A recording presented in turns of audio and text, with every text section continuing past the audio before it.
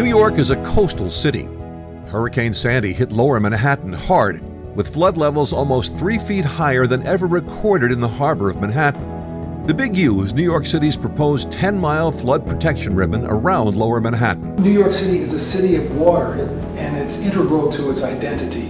And we don't want to just wall off the city. Designed in close consultation with local, state, and federal stakeholders, the Big U integrates storm protection into the fabric of the community and in the process increases neighborhood amenities with a new waterfront park. The main thing the community wanted in terms of park was to be able to get to their park. Since we're going to be making this 24 foot berm at the back of the park, why not sweep that berm up over the highway and continue the park into these neighborhoods? The plan acknowledges all the different neighborhoods so that it changes in its character and in its features around the island in response to its local communities. The Big U is rooted in the concept of social infrastructure.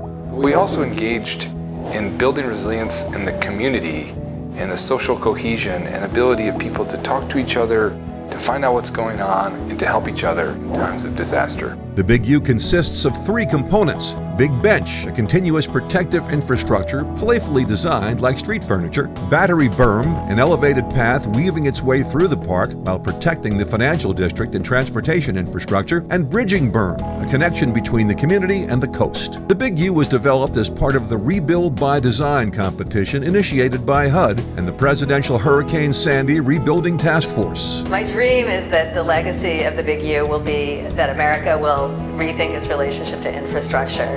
It can be beautiful, it can be fun, it can help re envision a whole community fabric. The American Planning Association is proud to present the 2015 National Planning Excellence Award for Urban Design to New York City's The Big U.